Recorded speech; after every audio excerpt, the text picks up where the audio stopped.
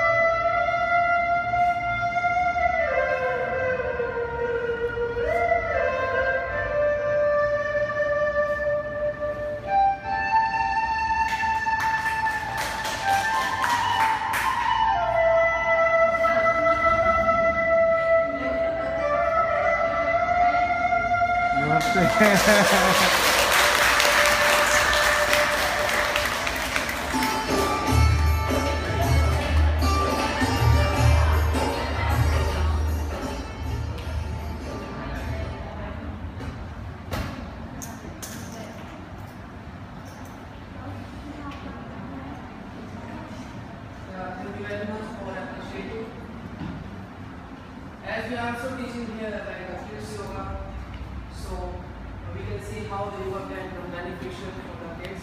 Uh, live example just for you.